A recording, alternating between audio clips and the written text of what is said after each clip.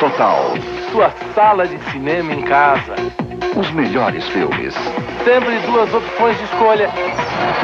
Dois gêneros diferentes. Cine Total.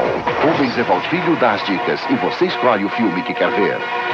Amanhã, às 10 da noite, na Rede TV. Uma opção de qualidade na sua TV.